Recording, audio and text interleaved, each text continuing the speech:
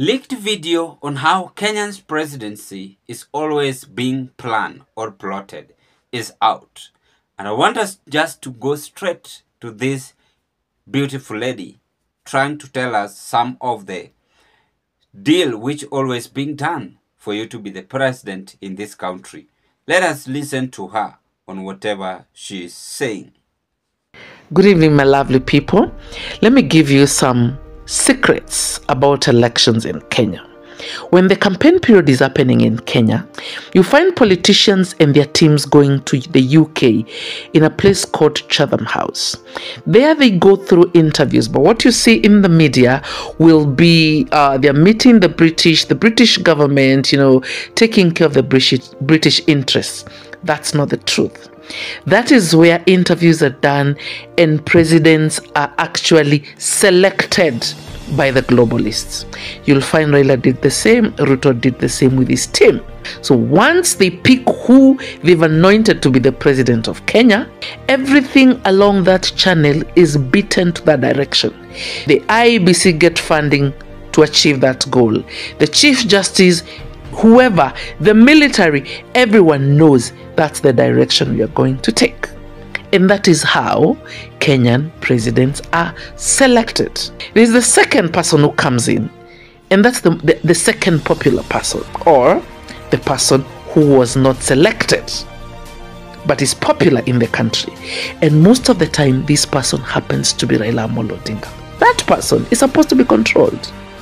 That's it, always finding meeting the US ambassador, you'll always find them meeting the European Commission, I don't know, ambassadors, all because they have to keep that person in check. As per vote, one man vote, Raila actually won the elections.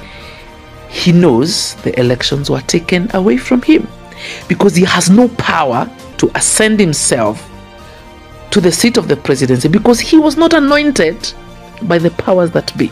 But he also needs to be controlled. So, what do they do? They keep him in check, they give him positions. Like right now, the globalists, who are very well represented by the US ambassador, the IMF, the World Bank, the World Economic Forum, are the ones pushing for Raila to get the AU seat. Because by him getting the AU seat, he will not meddle in the local politics of Kenya. Okay? The AU itself is controlled by the globalists. I hope when I mention these names, you know what I mean the introduction of the New World Order. So, guys, don't believe anything you see out here. You see Raila coming out today and saying that he's supporting dialogue. Phone calls have been made to him. Otherwise, he's going to lose That the indeed AU Raila Odinga seat. always wins the No one cares about Kenyans. No one cares about at the last injustice. No one cares about corruption. No one cares about is what you inefficiency. Guys, The you have presidency to wake up and fight for your When I country. talk about the Gen Z, dragons, Wake up. it is all about The system the is rigged against Who are these Kenyans. people planning? Huyu ametosheka. This is best. This is not good. Because there is always fear, imagining between uh, inside those who want to make Kenyan president to be known and obey them. And they always try so much that the coming president must adhere with the rules and regulation under their command, and which is true according to that lady. But before I carry on, ladies and gentlemen, please do me a favor like this video. I've realized that some of you are watching the video, but they don't offer a thumb of like. Please like this video. When like this video, it will reach to several people in the YouTube platform, and it is a kind of job offer you are doing to this platform. And if you are watching me for the first time, subscribe to my YouTube channel and give us your opinion. Now, therefore, this is shocking revelation, shocking to Raila Odinga as well. So, hawa watu wakiendanga UK, they always think that Wakenya hawaoni whatever is taking place. Let me tell you, the world has ears. Mountains has ears.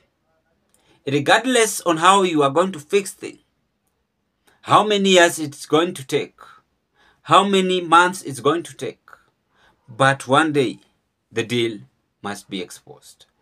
And it is today which the deal have been exposed that a clear confirmation that Kenya's presidency, presidency is not always being decided by Kenyans, but the people who sit on the throne. That is why I've described them as dragon in the presidency. They always sit and ask what always happen here. Wewe tumekupea hii. Are you going to allow yourself and obey our rules? So does it mean that Raila Odinga not always obeying the rules? Even this 2027, 2022 uh, uh, General August election, Raila knew that he won the election. But the force behind that uchaguzi made him not to be elected as the president. They always capture IEBC, first of all. Even the IEBC, now the problem is not Wafula Chebukati, have confirmed. The problem is these people always sit down and discuss who is the best preferred candidate. And that lady have said that the system is rigged about Kenyans. And that place is called Chatham House. Chatham House is found in UK. That is where places they decide who is the best candidate to be fit for presidency. nata Ruto ataenda huko tena 2026 ama 2027 kama tuko karibu kufika uchaguzi, ama mwenye atakompete na Ruto pia aende because Ruto ndio popular. So they have used Raila, even fixing him at the AU job, in order not to get into the local politics, to silence him. And I said it last year that that AU is just a force. Even the current president knows it. So it is just a deal they always do. And Kenyans are always wake up very early in the morning to vote.